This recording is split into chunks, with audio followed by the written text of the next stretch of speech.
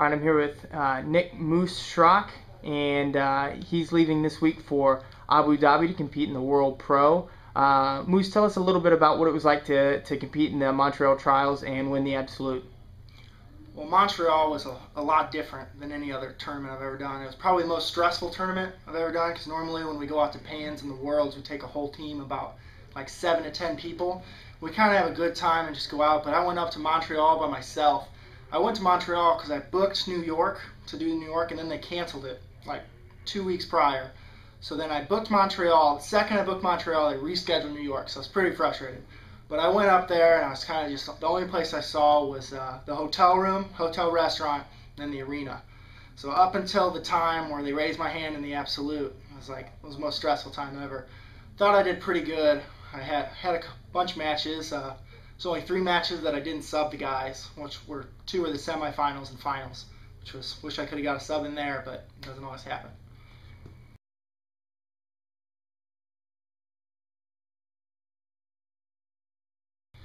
So the the World Pro isn't the first tournament you've done really well, and you you've won the Pans uh, several years in a row. You took second in the Pan Absolute Blue Belt several years ago. What's it like to be uh, atop of the Blue Belt division, and uh, what's it like to compete uh, at the high level like that?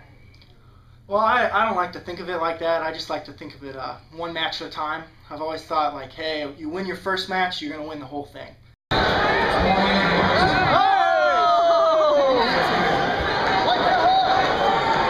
So I just think of it as like everybody's the same. It's like nobody's nobody's better than the guys I train with.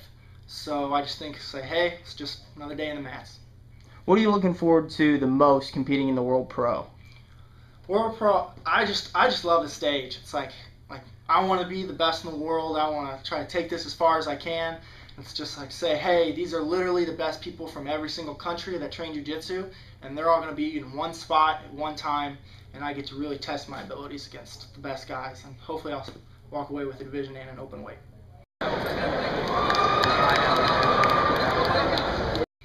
What kind of things have you been doing to prepare yourself for uh, such a high level of competition?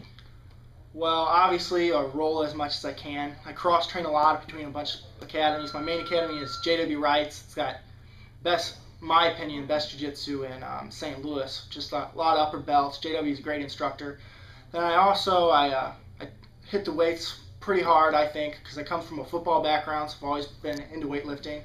And then lately, I've been adding a lot of like jump rope and stairs and some more just like some stuff I just see from like Andre Galvao and just some weird workouts, which I think might help. A lot of gi pull-ups. Just the more different stuff I can find, that's what I like to do because it's a little bit more fun, a little bit unique, and it shocks the body a little bit. And, and so, is your approach whenever you, you come in and training for these things? You are you trying to get stronger? What's what's your idea behind some of this this uh, different kinds of training that you do?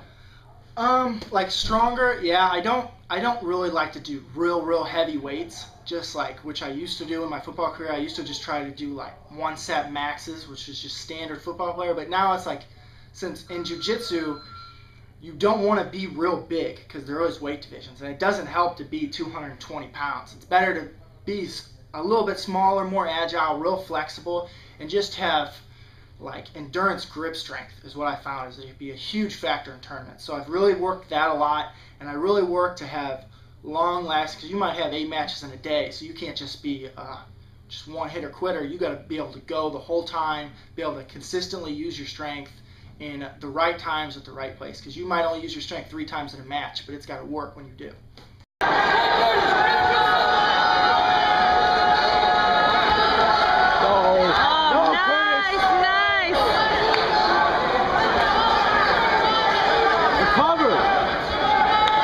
Spe- speaking of weights and um, and, uh, being too big for a weight class and that sort of thing, um, uh, you don't cut any weight. Correct me if I'm wrong. Uh, for your weight class, and you're generally about a foot shorter than most people in your weight class. Do you feel like that's to your advantage, or is there a strategy behind that? Um, the height, I don't know if that's an advantage. Um, I like, like some people think I'm a judo player, which I've heard in the past, but I, I'll pull guard fast, just as fast as anybody.